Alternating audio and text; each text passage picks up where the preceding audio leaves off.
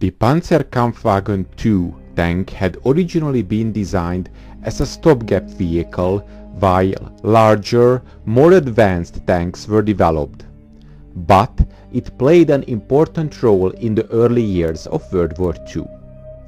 In February of 1939, the German Army High Command ordered the development of a Flammpanzer or a flamethrower tank. This tank was called Panzer II Flamm and the soldiers often called it Flamingo. Both producers of the Panzer II, MAN and Daimler-Benz were selected to develop that project. Shortly afterwards, in July of 1939, a new chassis was built. It was armed with two flamethrowers mounted on track guards on each side.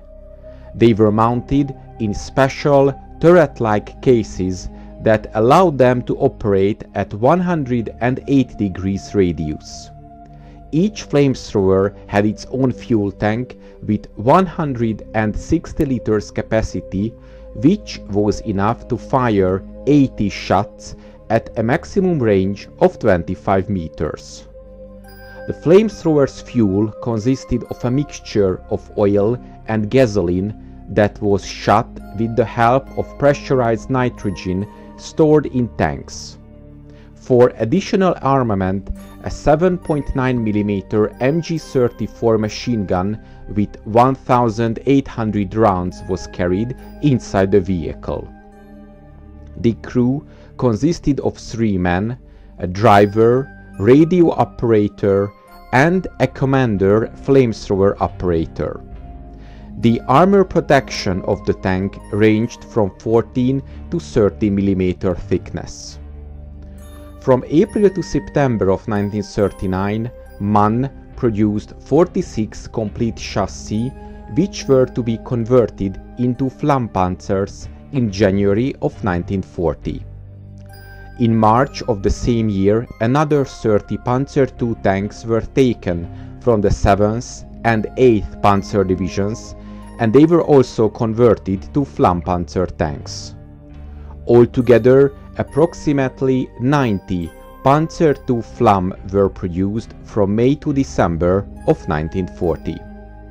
These tanks were issued to special units, the Panzerabteilung Flamm 100 and 101. The Panzer II Flamm were used as a close combat weapon to support the German infantry units against bunkers.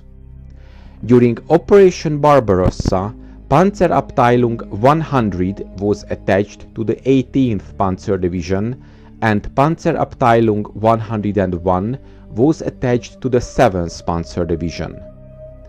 The Flammpanzer tanks saw limited service in Russia until late 1941 when both units were withdrawn to Germany to reorganize.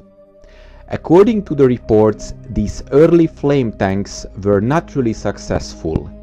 The effective range of their flamethrower was too short and the armor of the tanks was too insufficient.